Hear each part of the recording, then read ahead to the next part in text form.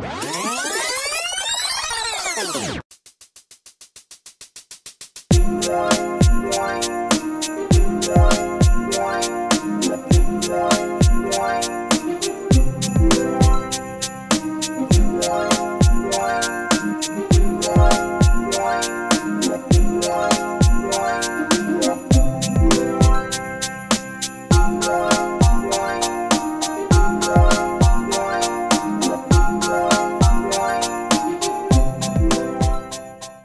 Everyone. I have to go to the post office and drop a package off. We're walking up there and then I have to run an errand and get ready because I leave for my trip tomorrow, four days.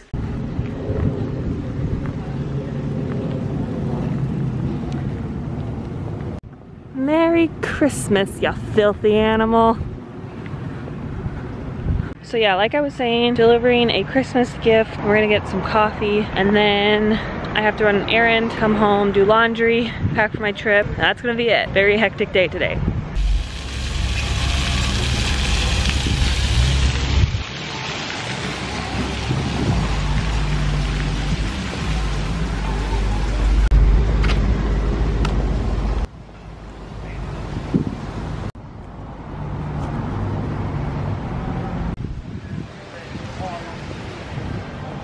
Hi guys, I am just leaving Target.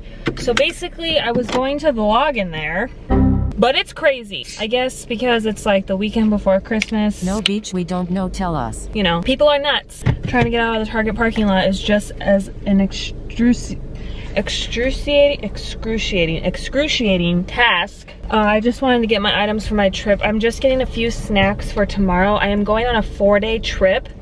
I had mentioned that earlier, four day trip and we get there tomorrow night. So I'm actually leaving tomorrow morning for my commute. It's actually really nice because our check-in's not until like 3.30 p.m. So I'm going to take the early morning flight and get there and just be in Minneapolis for the afternoon instead of leaving tonight, which worked out better. Don't think I'll be doing anything on this four days, like anything like super exciting, but I do have to go home and do laundry, pack, and meal prep, the stuff that I just got. It's literally just snacks for tomorrow. That's all it is. And then Eddie and I have an event tonight. I don't even know if I want to tell you guys. I don't even know if I should put this in here. But basically, we're going to a concert. Now, before anyone says anything, it is outdoors and we are going to stay as far away from humans as possible and wear our masks. So, it is an outdoor event. It's not inside and I don't know if it's gonna be crowded or not. I don't know. It's just a local band that is from, it's Black Stone Cherry. So, Eddie's favorite band. So we'll see what the vibe is like. Eddie said that if it's like really bad and crowded, we'll leave, like no big deal. But if it's awesome time, no one there, social distancing, it's Florida, so you don't really know about that. It's outside, so that's the good thing. Just driving home now, and I have to wrap some presents and get that stuff done. Eddie and I had our Christmas off camera yesterday.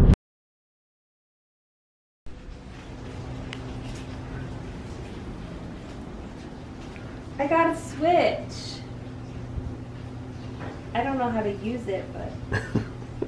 Next week is going to be crazy. Literally nutso when I tell you the amount of things that are happening next week. I'm trying to switch my trip around for a different trip so I can be in Louisville for his family's Christmas.